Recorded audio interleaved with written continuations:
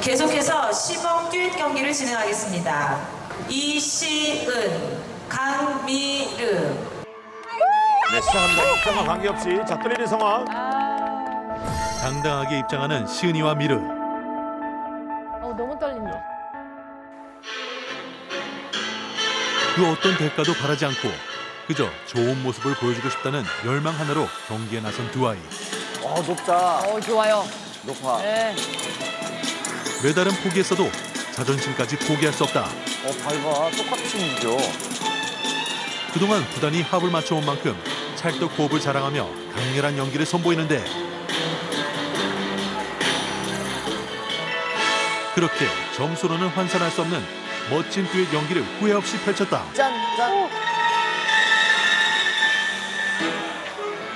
아,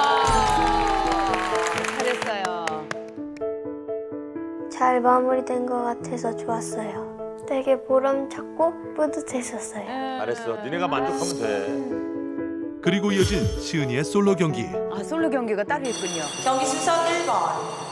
이시은. 아, 엄마가 아까 언니 만들어주신 옷. 네네. 어, 만들어준 옷이죠? 너무 예쁘다, 진짜. 엄마가 만들어줬으니까 수영복 때문에 더 잘하고 싶은 마음이 생겨요. 어. 초등학교 마지막 대회거든요. 마지막이니까 최선을 다해서 노력해서 하려고 해요. 음. 그래. 드디어 시은이만의 시간이 시작됐다.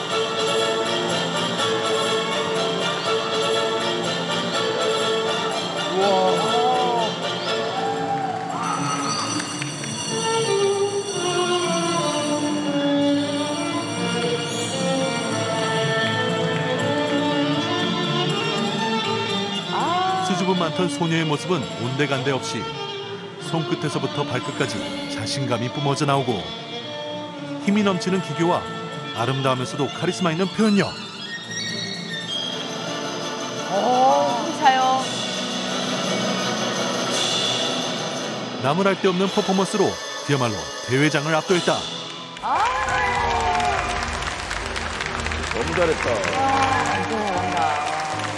그간의 고된 노력과 뜨거운 열정을 아낌없이 쏟아낸 아이.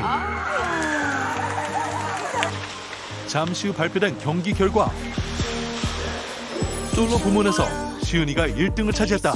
와!